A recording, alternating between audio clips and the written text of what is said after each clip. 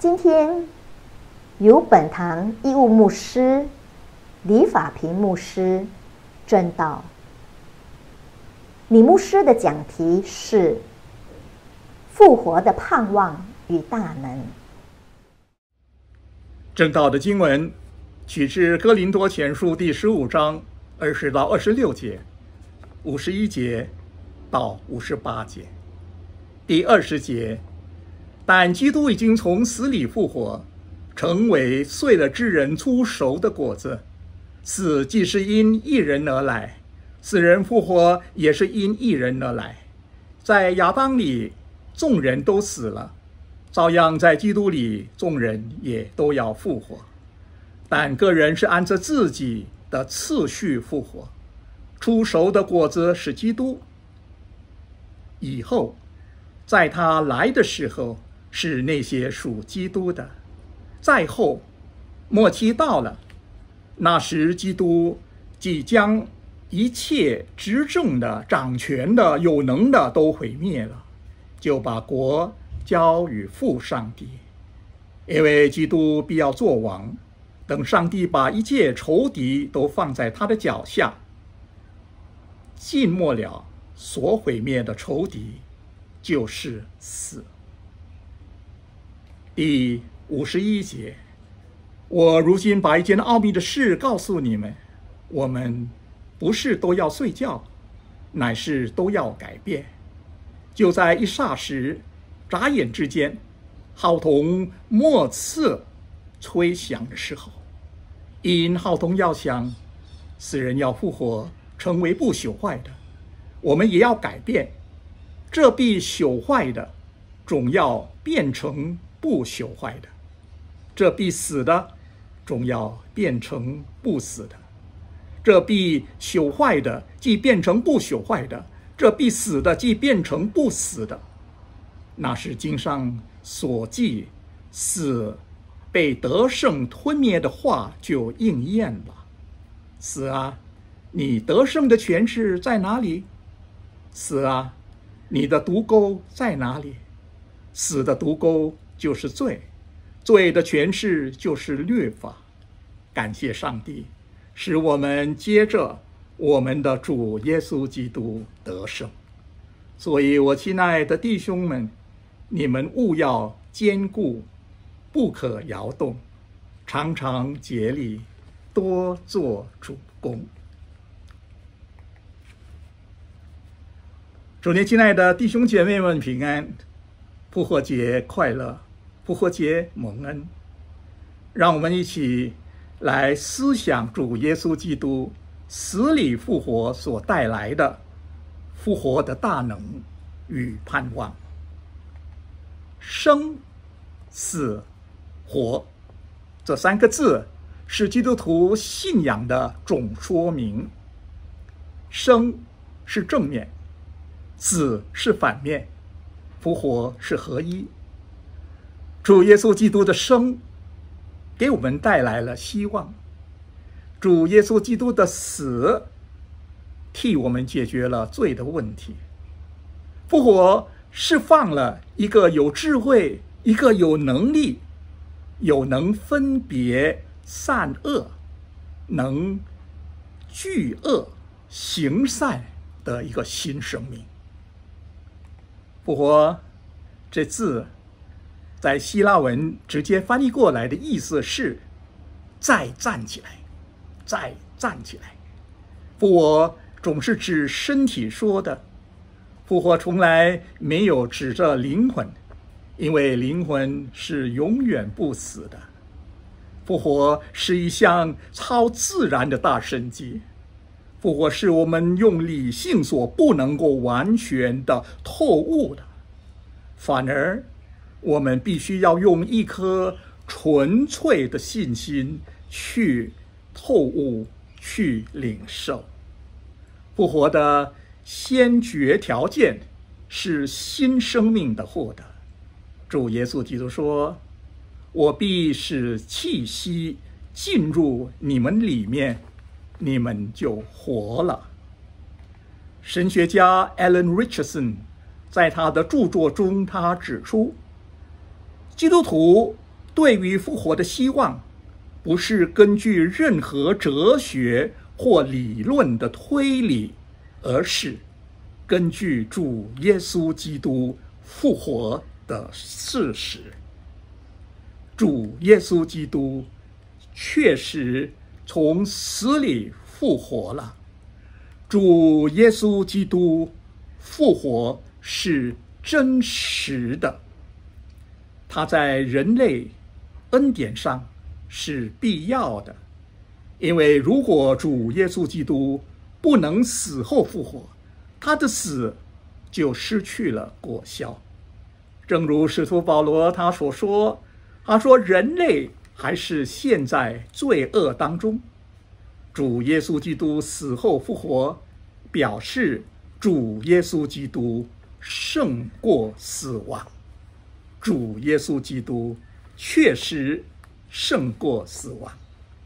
格林多前书第十五章第二十节这么告诉我们说：“但基督已经从死里复活，成为碎了之人出熟的果子。”复活即是主耶稣的应许。主耶稣基督曾说：“复活在我，生命也在我。信我的人，虽然死亡，也必复活。凡活着信我的人，必永远不死。”今天我们所读的经文《哥林多前书》第十五章二十到二十六节、五十一到五十八节，让我们认识到。主耶稣基督的复活所带来的大能与盼望。主耶稣基督的复活满有大能力。主耶稣基督复活的能力是超越科学的，是世界上最大的能力。主耶稣基督复活的大能，将使许多人从坟墓里复活。主耶稣基督的复活给人类带来了新生的盼望。有一位作者这么说：“认识主耶稣基督复活的大能，才能认识主耶稣基督。主耶稣基督复活的能力，越过一切的苦恼。主耶稣基督是赐平安的主，因此，我们身为基督徒就应该为主勇往前进。”刚强壮胆，毫不畏惧，因为我们有一位复活的救主，主耶稣基督作为我们的后盾。作者巴克莱曾说：“唯有相信复活了的主，我们才能面对生活；唯有相信复活了的主，我们才能面对死亡。”主耶稣基督复活的能力意义实在是重大，是值得我们赞美，这值得我们感谢、敬拜与侍奉。主耶稣基督是复活的主，我们跟随着他，我们蒙恩得救，得享永生。主内亲爱的弟兄姐妹们、朋友们，您是否愿意更认识这一位复活的救主？你是否更认识、愿意更认识主耶稣基督吗？有位作者这么说：“他说，我们如果要接受上帝，信是最短的路；我们如果要认识主耶稣基督，爱是最短的路。”主内亲爱的弟兄姐妹们，我们要在主里。认识他，认识主耶稣基督复活的真理，认识主耶稣基督复活的价值与主耶稣基督复活的重要性。针对主耶稣基督复活的重要性，使徒保罗他坚持的说：“主耶稣基督若没有复活，人生最大的价值就失去了保证。”他说：“除去复活，你便毁坏了基督信仰的基础和结构。”格林多前书十五章十二到十九节说道：“既然我们传基督是从死死人中复活了，怎么在你们中间有人说没有死人复活的事呢？若没有死人复活的事，基督就没有复活了。基督若没有复活，我们所传的就是妄然，你们所信的也是妄然。这样，我们甚至。”被当作是做为上帝伪作见证的，因为我们见证上帝是使基督复活了，因为死人若不复活，基督也就没有复活了。基督若没有复活，你们的信便是枉然，你们人在最终，就是在基督里碎了的人也灭亡了。我们若靠基督，只在今生有指望，就比众人更可怜。这段经文给我们知道、教导我们主耶稣基督复活所证明的四个事实：第一，主耶稣基督的复活证明真理强于虚假，复活。是真理不可抹杀的保证。第二，主耶稣基督的复活证明了善强于恶，因为如果没有复活，罪恶的势力便得胜了。主耶稣基督的复活证明爱强于恨，因为主耶稣基督是上帝爱。的化身。第四，主耶稣基督的复活证明生命强于死亡，因为主耶稣基督的复活，我们蒙恩得救的人就不至灭亡，反得永生。因为主耶稣基督的复活，我们所信、我们所传的，便不是妄然，我们就不再是。可怜的人了！主耶稣基督死里复活的喜信，宣告了主耶稣基督确实是上帝的儿子。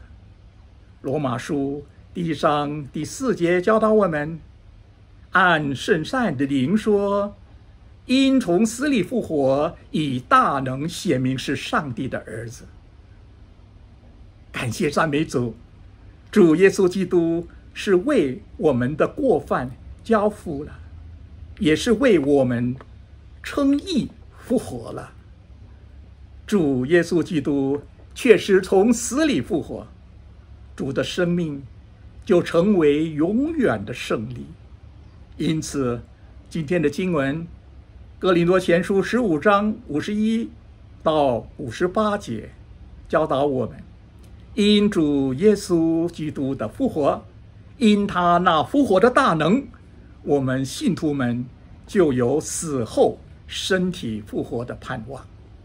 经文告诉我们，我们基督徒不但会复活，而且会有一个复活荣耀的身体，因为我们现在所有的血肉之体。不能承受上帝的国，上帝的国是永远的，而我们的血肉之体是必朽坏的。这必朽坏的身体怎能承受那永存的国呢？所以，除非我们得着那荣耀的身体，否则见上帝国的应许对我们这些血肉之体的人就是没意义的。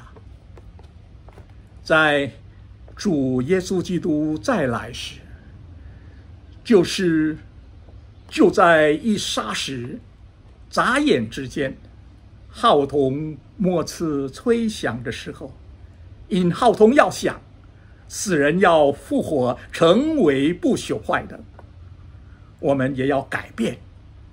改变这词的原文，新约用过六次，在这里。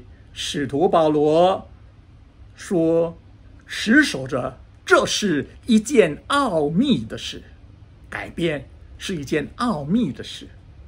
昨天，亲爱弟兄姐妹，圣经教导我们，奥秘的事是属乎耶和华上帝的。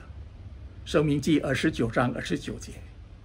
虽然我们现在不明白如何得着一个荣耀的身体，但我们知道主的大能，主耶稣基督复活的大能，必定叫我们的身体改变，跟他荣耀的身体相似。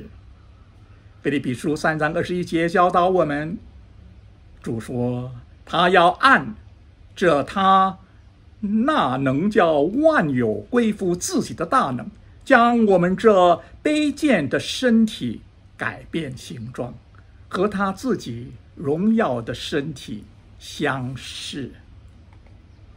感谢赞美主，因着主耶稣基督从死里复活，死。被得胜吞了，死被得胜吞灭了。这句话是引用以赛亚书二十五章第八节的经义。这得胜是指着主耶稣基督救赎功劳的胜利，就是十字架救恩的得胜。所以使徒保罗说：“感谢上帝。”使我们接着我们的主耶稣基督得胜，因主耶稣基督的复活战胜死亡。我们信徒，我们蒙恩得救，已经有必要，也必定复活和死后身体改变的这个盼望。接着祝耶稣基督救赎，我们有永生的盼望。因此。我们要在基督的信仰上坚固不动摇，不要因着别人的主张，不要因着异端的诱惑、不信者的批评而信心摇动。我们也要在主耶稣基督再来之前，我们要常常殷勤。努力做主公，更热心寻求明白主的话语和主的能力，要追求殷勤为主工作，容神一人，追求灵命长进。主内亲爱弟兄姐妹们，为主工作、为主做工是不突然的。在主里面，一切都不落空，都会蒙主纪念。不突然，不一定是可以眼见工作的果效，也不一定是有果效。但就算看不见工作的果效，或工作根本没有果效，还是不突然，因为主已经纪念了。主内亲爱的弟兄姐妹们，我们要诚心爱主耶稣基督，我们要寻求主，我们要尊主为大，这样我们才能更认识这一位爱我们、为我们赎罪的救主，胜过死亡复活的救主。我们要努力的传福音，因为复活的主耶稣基督。乃是我们传福音、做见证的理由。愿我们更认识我们的救赎主主耶稣基督，认识他复活的大能所带来那信徒死后身体复活的盼望，有永生的盼望。主耶稣基督复活，使惧怕变成勇敢，使忧伤变成喜乐。哈利路亚，主已复活。